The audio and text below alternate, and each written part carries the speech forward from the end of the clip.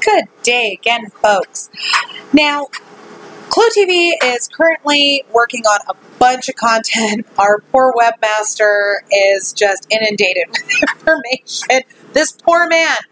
I swear to you guys.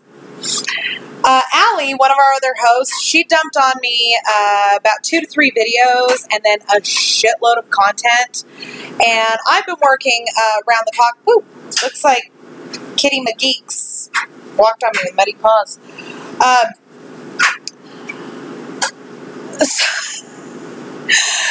Kitty McGeeks is my mom's cat. She's like this giant, fluffy tortoiseshell um, tabby. And it rained last night in my area. And so she went outside and then she came in when we were all over at my mom's house, uh, you know, to color eggs for Easter. And she, like, jumped up on me and I just realized she put some mud on me. Oops. Okay, so we've got a lot of stuff going on. But I wanted to talk to you guys real quick about the postcard wall that is being constructed currently for Steven and Brendan. And it's going to be really cool, guys. They did this with the West Memphis 3, and it actually, I believe that it thoroughly helped. I think that once the state of Arkansas saw how much support these boys had, it they had pretty much no other choice but to do something. True, I don't agree with what they fucking did. I think it's total bullshit. I think everybody thinks that. But something got done. Something got moving and shaken. So, just to let you guys know, um, all of the information about how you can help and where you can send your postcards, make sure that you put the postcard in a separate envelope so that there's like no impediment putting it on the on the wall.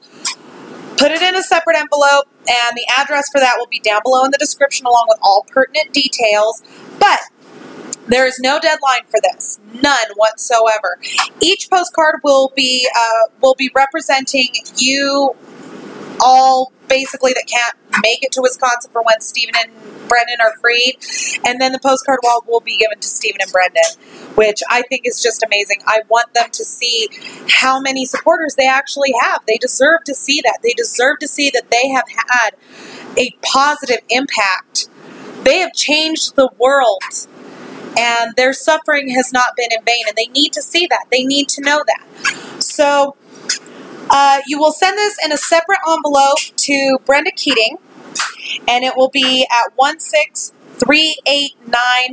16389W. That means West, State Road 77, and that's in Hayward, H A Y W A R D, Wisconsin, zip code 54843. And again, I'll put all pertinent details down below in the description. So thank you guys. Let's get these boys home.